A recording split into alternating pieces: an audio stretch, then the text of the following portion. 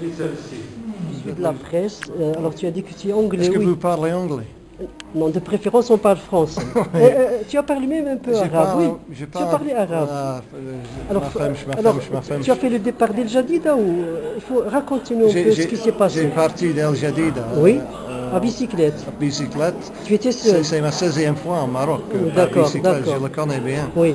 Mais euh, excusez-moi, je- euh, encore je ne parle pas bien, bien le français. Non, ça va, c'est bien. oui. Euh, j'ai allé euh, à Walidia, j'espère y arriver. Ah, à bicyclette oui, oui. Oh, c'est- Vraiment, c'est formidable.